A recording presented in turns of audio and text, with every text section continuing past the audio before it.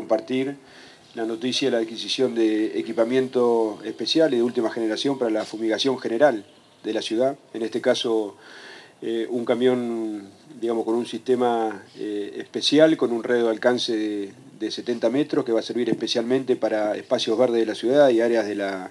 periferia en el trabajo tradicional, digamos, que se efectúa todos los años y que, bueno, empezó el 1 de octubre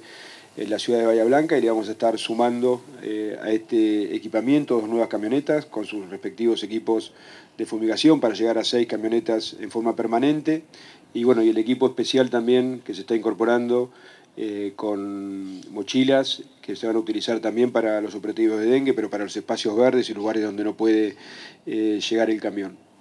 Una novedad también es que todo el equipamiento que tiene que ver con la fumigación de la ciudad va a estar con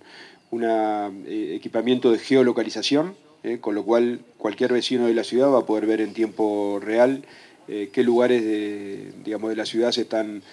abordando en ese momento.